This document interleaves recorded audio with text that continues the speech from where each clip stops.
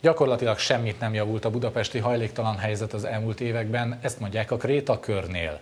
A fagy beáltával most egy kampányjal hívják fel a figyelmet a problémára. Budapest több pontján is láthatók a hajléktalan embereket és a történeteiket ábrázoló plakátok. Az arra járók közül többen elszégyellik magukat a képek láttán.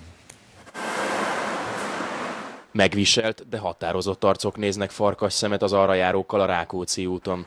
Ő hajléktalan, és az arcával az elsőként lakhatás programot reklámozza, amely a tizedik kerületben már jól működik. Minden évben kunyhóban lakó hajléktalanok költözhetnek megfizethető lakásokba. Szeretnénk a kormány és a városvezetés figyelmét is felhívni arra, hogy ideje lenne már ezzel az aktuális problémával foglalkozni. A személyes tapasztalatunk szerint a kampány hatásos.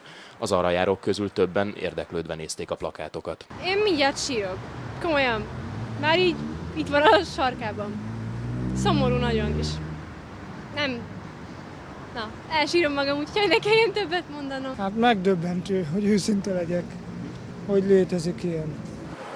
Aztán olyan is volt, aki egy közös képet akart a hajléktalanokkal. Én örülök, hogy valaki legalább felvállalja, hogy mi a helyzet Magyarországon, mert az, hogy 400 ezer üres lakás van az országban, amiben el lehetne helyezni mondjuk a hajléktalan embereket, az nem, nem értem, hogy a kormány miért, miért nem tesz ellene.